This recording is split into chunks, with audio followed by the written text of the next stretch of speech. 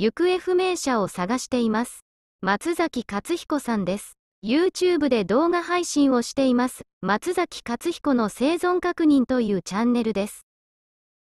今回は、勝彦さんが登って行方不明になった奥多摩の高野須山の宣言尾根コースの様子が詳しくわかる登山動画の紹介だよ。登山口から入山して浅間神社の鳥居をくぐり、廃屋のような神社の小屋の前でライブ配信した場所、そこから登山道を登ると、飲むことができる水場の様子がある。そこを進むと勝彦さんが、以前よりテント泊に使っていた綺麗な避難小屋と周辺の状態もわかるよ。そこから高野須山の山頂までの様子、次のテント泊の予定だった雲取山荘に続く重走コースなどがこの動画を見ればわかるよ。